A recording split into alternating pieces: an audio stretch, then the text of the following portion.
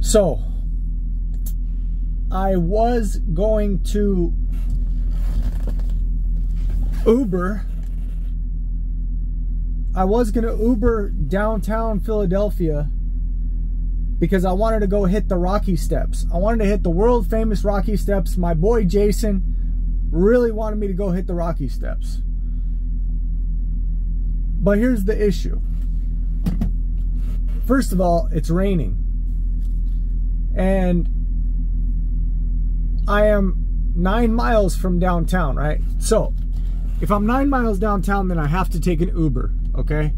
Now, it's about $28 to take an Uber right now to downtown. Okay? So 20 25 to 28. So I'm to take an Uber down there. I'm going to eat like a $20, $30 meal and then I'm going to Uber back. So by the time it's all said and done, I'm looking at like 75 bucks. Now, I really don't mind spending that money to go explore Philadelphia for the first time ever, but here's my issue with spending that money. I don't want to spend that much money and then have to walk around in the rain for two hours. Like, because not, you know, I mean, getting downtown is one thing, but then I still got to go explore downtown, right? I gotta find a place to eat Philly cheesesteak. I gotta take pictures. I gotta take video. I'm probably gonna run into some people, meet some people, wanna wanna hang out with them. So I I think I'm just not gonna do it because I don't want to spend 75 to 100 bucks and then still have to walk around in the rain for two hours. Basically, that's my excuse. Maybe I'm being a little broad about it, but also it's already 3:30, right? and I have to get up at 3:30 in the morning to deliver this load. I am sleeping at not only am I sleeping at, but I'm sleeping inside the property of where I'm delivering inside the gate. So they're really cool over here. They let us spend the night here. You could stay here before and after you deliver. It's fine. Um, so basically, I'm comfy. I don't want to I don't want to go explore Philly for the first time in the rain. Basically, that's what it is. Not only do I not want to get wet, but since it's raining out, there's really not going to be anybody out and about, you know, socializing downtown. So, what I did was I ordered because I my number one priority being in Philly was to get me a Philly cheesesteak, right? That was my number one priority. So, I ordered DoorDash from Frank's Steaks and Burgers, okay? I'm getting me a ribeye Philly cheesesteak with a side of fried Oreos. I've never had a fried Oreo. Never had a fried Oreo. I think I might have actually, I might be lying. I'd have to check with my friend, but I think I had a fried Oreo last year at the Phoenix or at the Arizona State Fair. If I did have an Oreo, a fried Oreo, then I was too drunk to even remember it. But but that that would be the only time I've ever had a fried Oreo. But I'm gonna say I haven't had one because I don't even remember eating it. I do remember the girl I was with saying, hey, they got fried Oreos, but I can't remember if I bought one or not if I did buy one, I was not too impressed with it at all. But I got three fried Oreos coming and a fat Philly cheesesteak, and it cost me $48. $48. So it cost me like, it cost me like $29 for the food. It cost me a $4 uh, DoorDash delivery fee. And then um, like four or five dollars in taxes and fees, I think. And then uh, I gave the dude or the chick uh, a $10 tip. Uh, is a $10 tip too much for my bill? Yeah, probably. But you know what? I know what it's like to work off of tips. Stephanie works off of tips. She does DoorDash from time to time. I know what it's like to drive all the way across town for a $2 tip or a $5 tip. So no, I'm not going to get down like that. And since I'm saving the money on the Uber that I'm not going to take downtown, I'll share that wealth with the Uber driver. It's all good. So when that food gets here, we will continue this video. So I forgot something. I, I also got, there's my deep fried Oreos right there. But I also got mozzarella sticks. Oh yeah. Let's get this stuff opened and see what it looks like. We'll try these. Oh. Oh my goodness. Yep. Yep.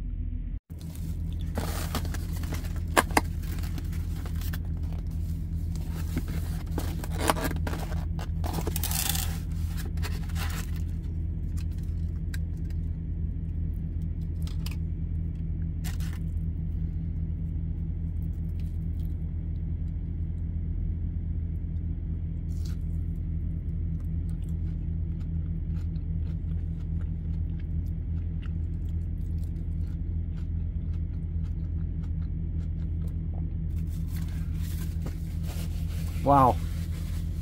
Let's see what the reviews were on this place. Frank's Steaks and Burgers. 4.3 out of 716 reviews. And this is where they're located.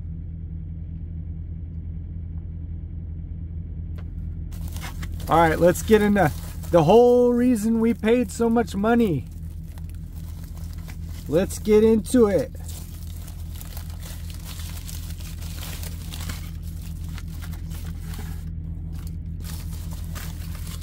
All right, I got a cheesesteak with provolone and some sweet peppers. Let me see if they gave me a knife. They did.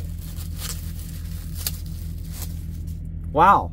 I haven't used a plastic knife in years, and these things are getting flimsier and flimsier and flimsier.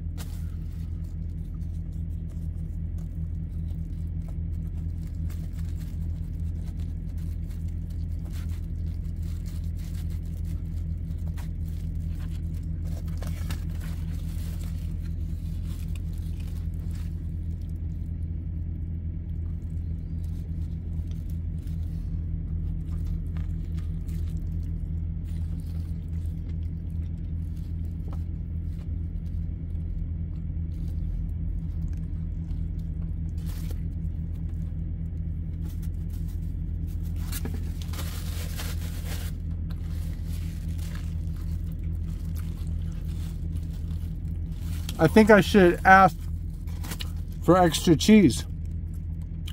But the meat,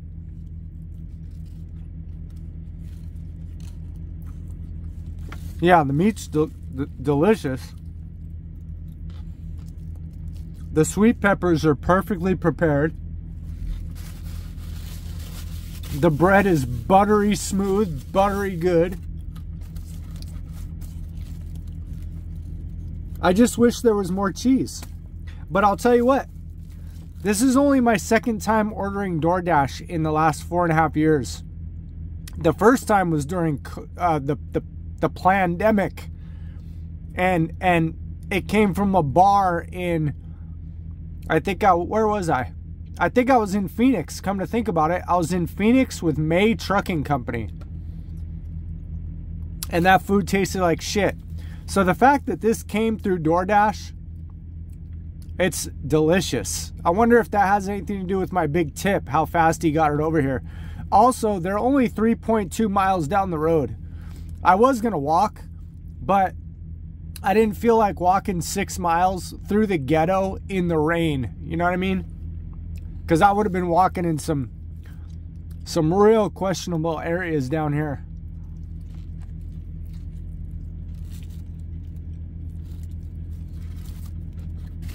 All right, I'm I'm gonna try an Oreo, and then I'm gonna get to the rest of my food in privacy.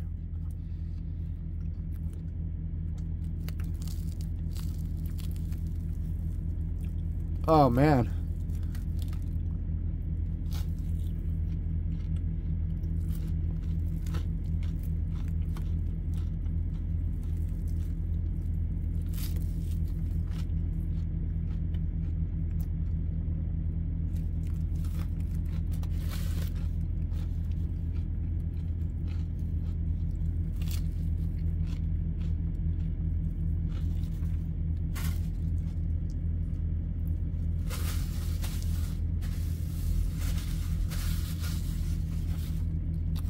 You know what?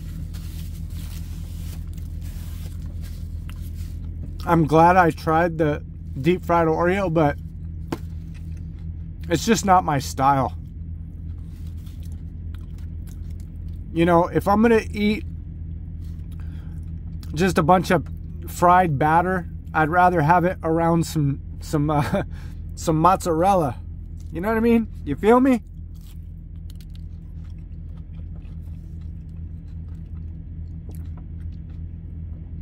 To be honest,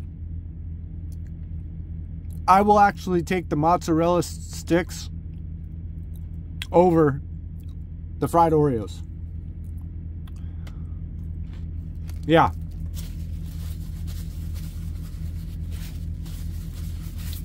But I give this place a solid seven and a half out of ten.